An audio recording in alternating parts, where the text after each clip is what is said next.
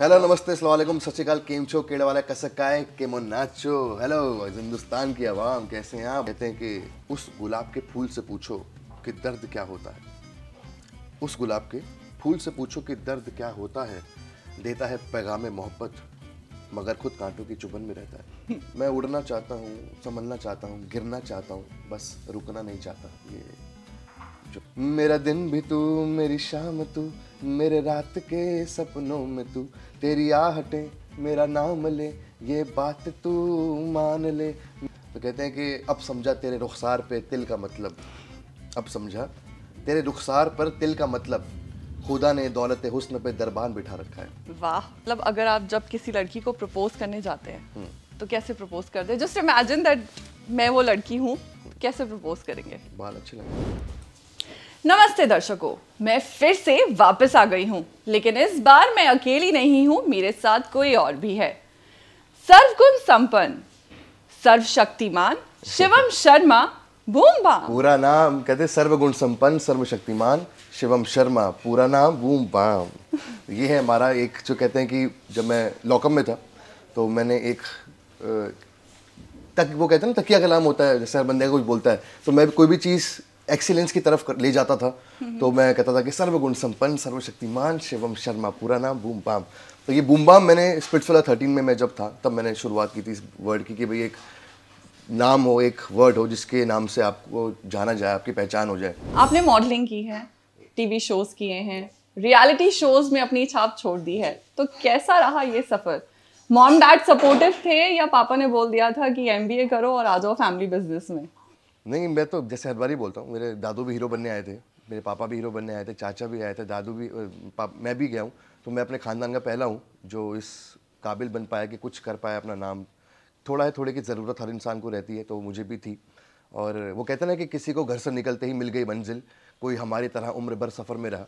तो मज़ा सफ़र का है, मंजिल का नहीं है, मंजिल तो मिल ही जाएगी। बाकी I enjoy the enjoy the process जो भी यहाँ तक मुझे दस साल लग गए आने में।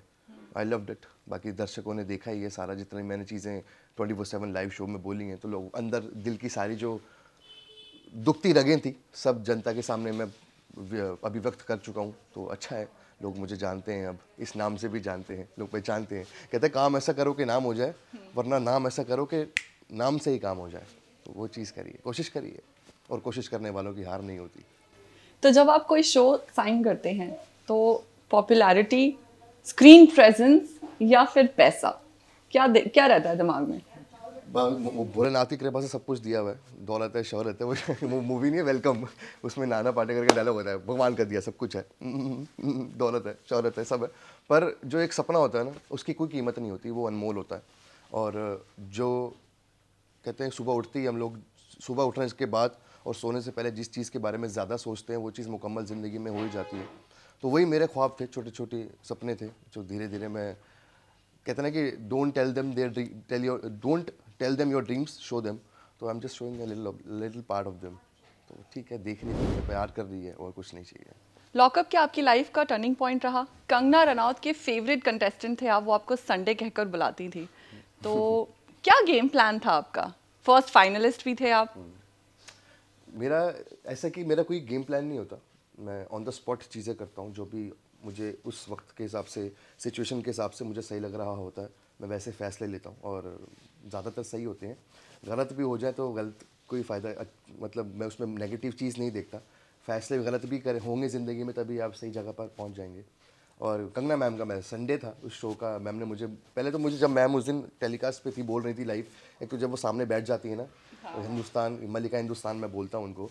तो जब वो सामने बैठ जाती हैं तो आधा नर्वस तो मैं वहीं हो जाता था। मैं कहा, यार, ये बस इस बंदी के चेहरे पे स्माइल रहे।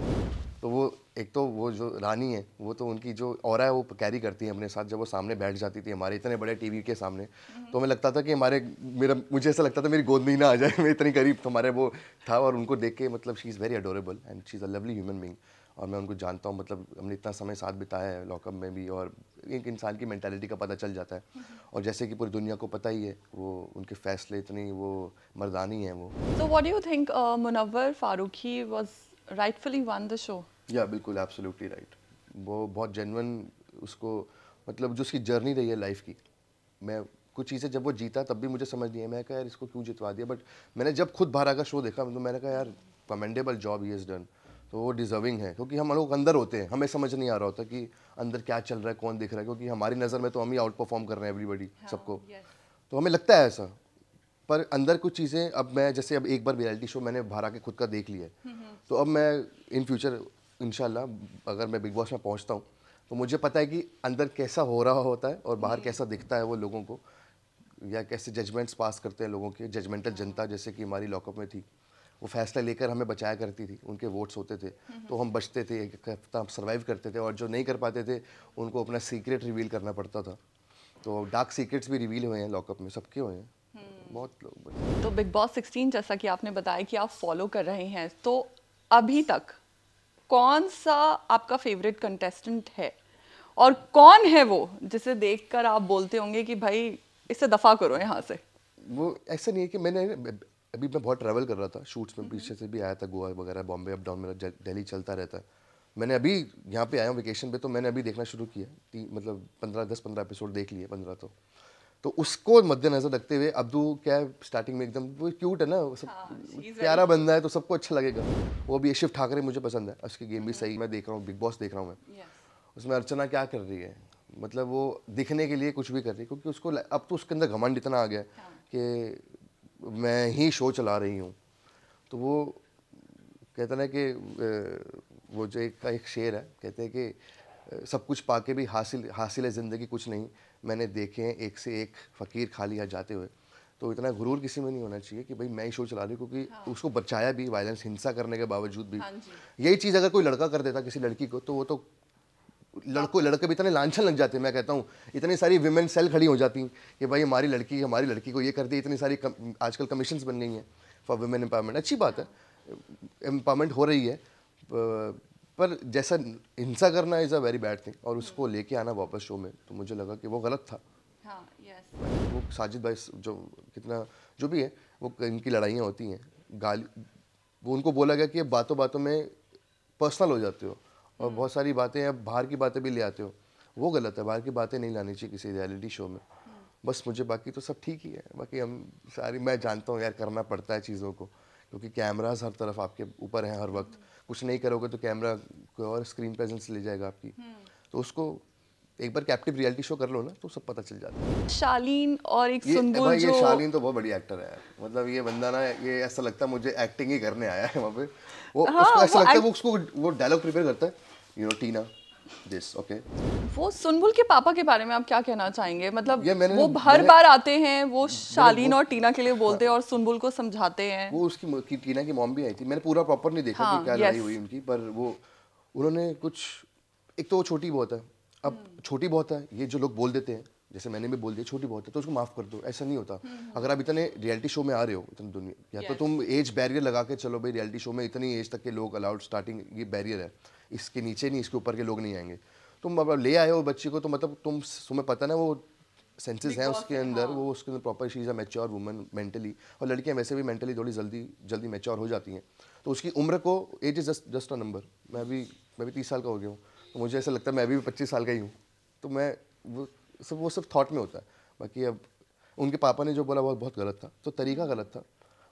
जितना नुकसान वो नहीं कर रही अपनी इमेज का उसके पापा उतना ज़्यादा कर रहे हैं हिसाब से शाली ने बीच में बोल तो दिया था कि आप मेरे पास जो आती हैं वो फुटेज के लिए आती हाँ, हैं कैमरे के लिए आती हैं। बहुत पिंच करती है हाँ, अब, अब उसको समझ आ गई तो वो ज़्यादा ना चेहरे पे आने नहीं देती। तो अब उनका सीन क्या है अंदर क्या नहीं है क्योंकि लड़ती है बातें बोलती है उसको जाकर फिर खुद ही एकदम शैल में चली जाएगी कि भाई आए मुझे मनाओ। ऐसा बाहर ऐसा दिखे कि ये मुझे मनाने आ रहा है ये आ रहा है मेरे पास मैं नहीं जाती। फिर शालीन भी थोड़ा सा कई बार समझ जाता है चीज़ों को फिर उस हिसाब से गेम खेलता है। मतलब मुझे लग रहा है कि शालीन ही जीतेगा इस बार। शालीन शिव ठाकरे अब्दू ये मतलब मुझे लग रहा है टॉप फाइव में हैं ये लोग। हम्म, हम्म। बाकी साजिद भाई प्रियंका प्रियंका भी अच्छा खेल प्रियंका भी है टॉप में। मतलब ये टॉप मेरे को लगता है। शिव प्रियंका शालीन और ये तीन तो मेरे कंफर्म है और टीना ये चार। पांचवा अब्दू पता नहीं अब किसको ज़्यादा अर्चना। ले अगर ले गए तो यू नेवर नो स्पिट्सविला में रिया थी। लॉकअप में सारा खान आपका क्रश थी। अभी कोई है? अभी मेरी माँ या- मेरी जगह जननी। मैं वही बोलने वाली थी। ज़्यादा प्यार करता हूँ कि तो, अब ऐसा या फिर ऐसा है कि छत्तीस आएँगे छत्तीस जाएँगे मेरी वाली तो मेरी मम्मी वो तो है ही है वो तो मैंने बचपन से ही बोला हुआ था कि मेरे को यार लव मैरिज क्योंकि मेरी- मॉम डैड ने लव मैरिज करी है। तो लव मैरिज ना होता है कि यार मेरे को ना आई नीड सरप्राइज़ मतलब होता ना कि सस्पेंस रहे ज़िंदगी में कौन ऊपर वाला कौन किसको भेज रहा है। अगर आप जब किसी लड़की को प्रपोज करने जाते हैं हम्म। तो कैसे प्रपोज करते हैं? जस्ट इमेजिन दैट मैं वो लड़की हूँ कैसे प्रपोज करेंगे? बाल अच्छे लगे शैम्पू करके आप ऐसे कौन प्रपोज करता है? मैं मैं तो ल, सोच रहा हूँ ना बात कर रहा हूँ बात का तरीका स्टार्ट तो यहीं से होगा ना नाइस मतलब सीरियसली मैं देख ही रहा था आपके बाल बहुत शाइन ऊपर से लाइट पड़ रही है ना एकदम फुल एकदम बाल बाल फ्रेश कहते हैं कि उस गुलाब के फूल से पूछो कि दर्द क्या होता है? उस गुलाब के फूल से पूछो कि दर्द क्या होता है। देता है पैगाम मोहब्बत मगर खुद कांटों की चुभन में रहता है। अब ले तो लो। अच्छा। वाह वाह। आप शायरी करते हैं। तो आपकी अब तक का सबसे बेस्ट जो है वो एक हो जाए हमारे दर्शकों के लिए। पहुँचा नहीं मंजिल से अभी थोड़ी दूर हूँ। है सफ़र रंगीन और मैं मशहूर हूँ। कल के अखबार की तरह फिजूल नहीं, बेटा मैं कोयले की खान से निकला, शाही कोही नूर हूँ। तो ये मैंने लिखी है। आई होप सबको पसंद आई हो। मैंने भी आपके लिए कुछ सेलेक्ट करके रखा था तो मैं आपको ज़रूर सुनाऊँगी। सौ अंधेरों में भी जो रोशन हो, उस हकीकत की तलाश है। तेरी दहलीज पर छोड़ आए उस मोहब्बत की तलाश है। झुकने की इबादत को तो समझे जहान वालों। कटने पे जो हासिल हो उस जन्नत की तलाश है। क्या बात है क्या बात है क्या बात है सुबह अल्लाह महफिल लूट ली। पर मैं एक लाइन में नहीं बोल पाई। कोई बात देखो हँसते भी कितने अच्छे लग रहे हो। आपके चेहरे पे तिल भी है एंड आई लव मोल्ड्स तो एक आपके तिल के लिए मेरी मम्मा माता जी बैठी हैं उनके चेहरे पे भी बहुत सारे तिल है। तो कहते हैं कि अब समझा तेरे रुखसार पे तिल का मतलब। अब समझा तेरे रुखसार पर तिल का मतलब खुदा ने दौलत हुस्न पे दरबान बिठा रखा है। वाह। गाना हो जाए। गाना? गाना गा लेते हैं। हाँ। कहते हैं कि वो जो एक सॉन्ग है रे नारे नाना नारे ना ना ना ना ना ना ना मेरा दिन भी तू, मेरी शाम तू, मेरे रात के सपनों में तू, तेरी आहटें मेरा नाम ले, ये बात तू मान ले। मेरा दिन भी तू, मेरी शाम तू, मेरे रात के सपनों में तू। तेरी आहटें मेरा नाम ले, ये बात तू मान ले। सौ साल का मेरा एक दिन हो, जिसमें तेरी तस्वीर ना हो। बेरुत है मेरी ये ज़िंदगी जिसमें तेरी खुशबू ना हो, मेरी पहली मोहब्बत पहली मोहब्बत पहली मोहब्बत है वो मेरी पहली मोहब्बत। जैसा कि हमने बिग बॉस के बारे में इतनी सारी बातें भी करी। तो Salman Khan like he is my favourite actor hello नमस्ते अस्सलाम वालेकुम। सचिकाल केमचो केम छो केड़ा वाला कसकाय केमो नाचो। हेलो हिंदुस्तान की आवाम कैसे हैं आप? मतलब ये जो लाइन है ना सर की मुझे ये तकिया मतलब मैं याद करके इतने मैंने इतनी बारी मैनिफेस्ट कर चुका हूँ ना। तो उसको हकीकत में तब्दील होना ही पड़ेगा इन ज़रूर हो जाएगा। मतलब कहते हैं ना कि एक लाइन भी मैंने सोची हुई है सब कुछ प्लान करके बैठा हुआ कि जैसे कि जब भी वो मुझे मिलेंगे मैं बोलूँगा कि चीते की चाल बाज की नज़र बाजीराव की तलवार सलमान खान की कमिटमेंट और शिवम शर्मा की एंटरटेनमेंट पे संदेह नहीं करते। इस पे तो कभी भी मात दे सकते हैं। Wow wow. तो ये सब मैं प्लान कर चुका हूँ कि भाई एंट्री पे ये सब सब बोलूँगा फिर एक सोच रहा था कि भाई स्लाइड करता हुआ जाऊँगा सर कोई लाइफ का मोटो लाइफ का मंत्रा जो आप रखते हैं? मैं उड़ना चाहता हूँ संभलना चाहता हूँ गिरना चाहता हूँ बस रुकना नहीं चाहता ये अब किस रियलिटी शो में धूम मचाने की तैयारी है आपकी? स्पिट्सविला या फिर बिग बॉस 16 मैं देखो मुझे जहाँ से बुलावा आता है मैं एक कलाकार मैं कल को आकार दूँ यही है मेरा धर्म मेरी दूसरी कोई जातना तो मैं जहाँ पे खुद को एंटरटेन करने का दुनिया को मौका मिलेगा वो चीज़ मैं करूँगा। और बाकी कुछ चीज़ें सरप्राइज़ रहने देते हैं। कुछ वक्त में पता चल जाएगा कुछ लो, लोगों को कि क्या हो रहा है क्या नहीं हो रहा है। बिग बॉस कब आएगा कब जो भी है एक्स वाई जेड चीज़ें देखते हैं। थैंक यू सो मच आपके साथ बात करके बहुत मज़ा आया and all the best for your future projects